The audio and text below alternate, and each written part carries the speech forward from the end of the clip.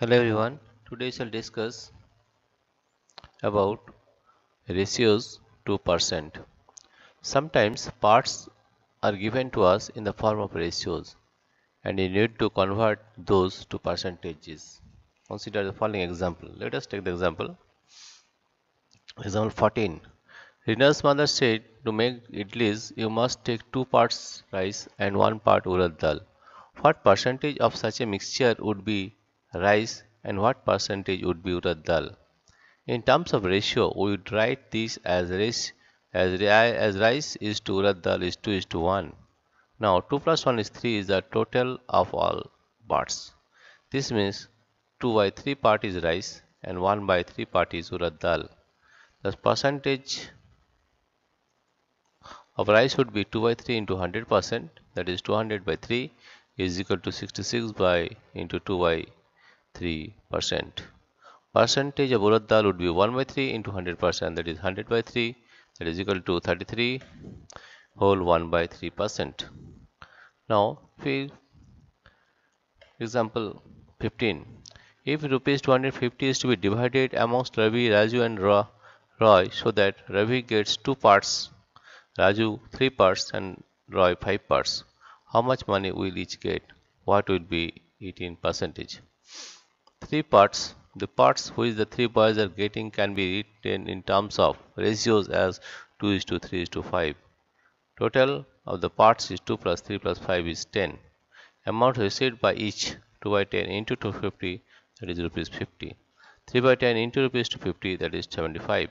5 by 10 into rupees 250 that is 125. Now Ravi gets 2 by into 100 percent that is 20 percent. Raju gets 3 by 10 into 100 percent that is 30 percent. And Roy gets 5 by 10 into 100 percent that is 50 percent right? Increase or decrease as percent.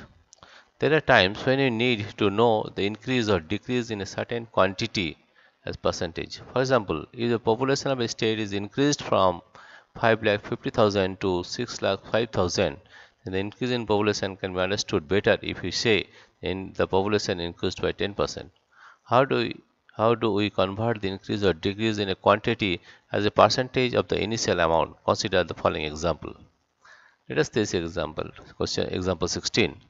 A school team won 6 games this year against 4 games won last year. What is the percent increase? The increase in the number of wins or amount of change is 6 minus 4 is equal to 2. Therefore, percentage increase is equal to amount of amount of change by original amount or base into 100 increase in the number of points divided by original number of points into 100 right? That is change. Increase in the number of points 2 and original number is 4 into 100 that is 50 percent. That is percent increase is 50 right? Now the number of illiterate person in a country decreased from 150 lakhs to 100 lakhs in 10 years what is the percentage of decrease Original amount, the number of illiterate person initially is equal to 150 lakhs. Amount change, that is decrease in number of illiterate person equal to 150 minus 100, that is 50 lakhs. For percentage of decrease is equal to amount of change by original amount into 100. This 50 by 150 into 100, that is 33, 1 by 3 percent, right? Now price is related to an item or buying and selling. I bought it for rupees 600 and sell it for rupees 610. The buying price of an item is known as its cost price. The buying price of an item is known as its cost price. It is written as CP. In short, the price in which you sell is known as the selling price or in short SP. What did you say is better? Or you sell the item at a lower price, same price or higher price than your buying price. You can decide whether the sale was profitable or not depending on the cost price and selling price. If cost price is less than selling price, then you made a profit. The selling price minus cost price. If cost price equals selling price, then you are not you are in a no profit, no loss situation. If cost price is greater than selling price, then you have a loss that is cost price minus last selling price. Let us try to interpret the statement related to prices of items. A, a toy bought for rupees 72 is sold at rupees 80. A t-shirt bought for rupees 120 is sold for rupees 100. A cycle bought for rupees 800 is sold at rupees 940. Let us consider the first statement. The buying price is 72 and the selling price is rupees 80. This means selling price is more than cost price. Hence profit made equal to sales SP minus CP that is 100 minus 80 72 is equal to 8. Now try interpreting the remaining statements in a similar way. Profit or loss as a percentage. Profit or loss as percentage. The profit or loss can be converted to a percentage. It is always calculated on the cost price. For the above examples, we can find the profit percent or loss percent. Let us consider the example related to the toy. We have CP is equal to 72, SP is equal to 82, 80 to 80, profit is equal to rupees 10. To find the percentage of profit, Neha and Shekhar have used the following methods. Neha does it. Neha does it this way that is profit profit percent is equal profit by cost price into 100 88 by 872 into 100 then you getting you are getting 11 into 1 by 9 Shekhar does it this way.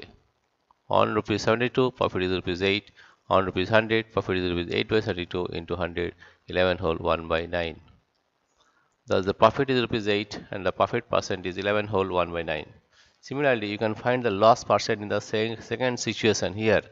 CP is equal to 120, SP is equal to 100, therefore loss is equal to 120 minus 100 rupees 100 that is 20 rupees.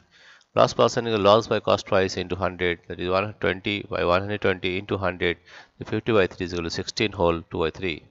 On rupees 120 the loss is rupees 20 so on rupees 100 the loss is equal to 20 by 120 into 100 the loss percent is 16 whole 2 by 3.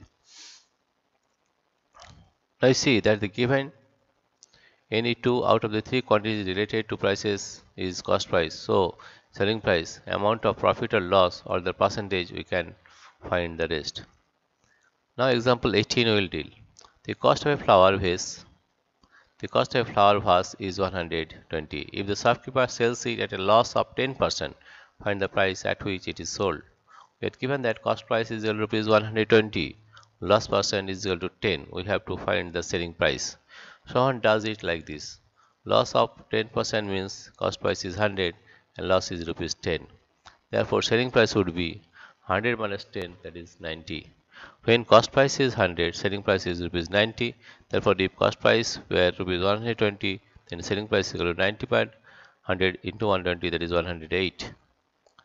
Anandi does it like this. Loss 10% of the cost price. 10% of 120 that is 10 by 100 into 120 that is rupees 12 therefore SP equal to cost price minus loss that is equal to 108 thus by both methods we get the selling price as rupees 108 now selling price of a toy car is rupees 540 if the profit made by the shopkeeper is 20% what is the cost price of this toy we are given that selling price is equal to rupees 540 and the profit is 20%, we need to find the cost price. Amina does it like this. 20% profit will mean that if cost price is rupees 100, profit is rupees 20. Therefore, selling price is equal to 120. 100 plus 20 is 120.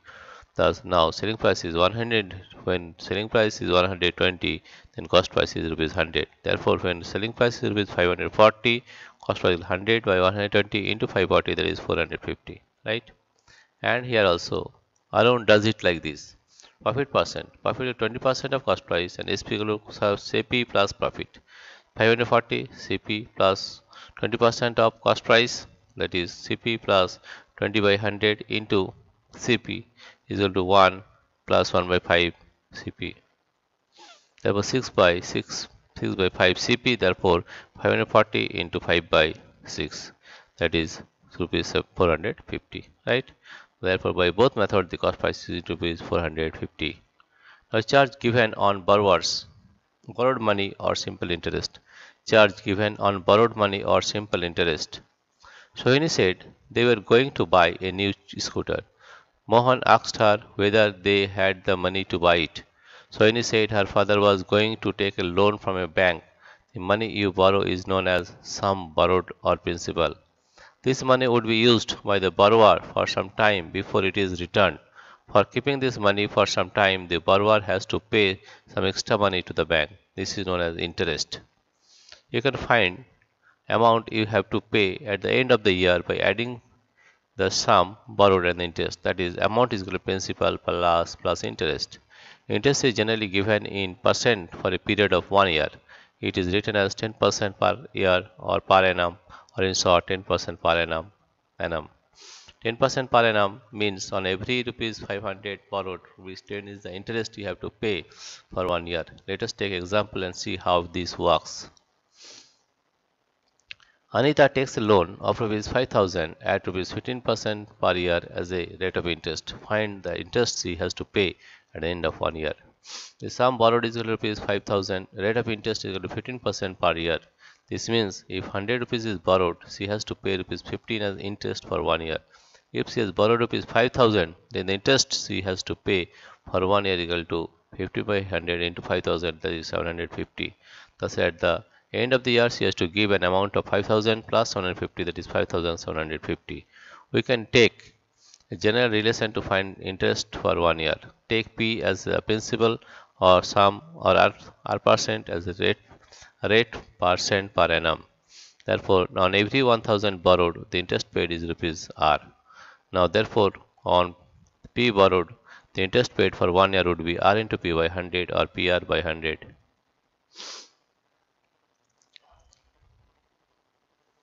interest for multiple years. If the amount borrowed for more than one year, the interest is calculated for the period the money is kept for.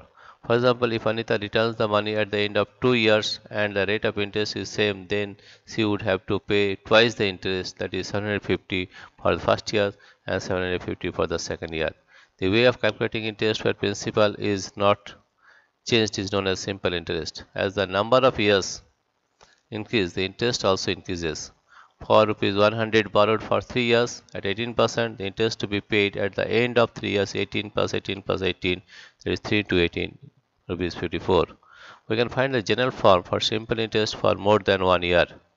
We know that on a principal P rupees P and R percent rate of interest per year, the interest paid for 1 year equal to RP by 100. Therefore, the I paid for t years would be PRT by 100 that is PRT by 100 and amount you have to pay at the end of t years is amount equal to principal plus interest. Just in the case of prices related to items, if you if you are given any two of the three quantities in the relation PTR by 100, I equal to you could find the remaining quantity. Now we'll deal with example 21. If Manohar pays an interest of rupees 750 for 2 years on a sum of rupees 4500 find the rate of interest i is equal to prt by 100 pi is 750 is equal to p 4500 r is 2 t is time r divided by 100 therefore we got the rate as 8 whole 1 by 3 percent. For 2 years the interest paid is rupees 750 for 1 year interest paid is 750 by 2 that is 375 on rupees 4500 interest paid is 375 therefore on rupees 100 rate of interest paid is equal to 375 by 4500 into 100 the 8 whole 1 by 3 percent. Right? In this way you can find the various amount or simple interest. Dear friends if you like this video please subscribe like and share. Thank you everybody for watching this video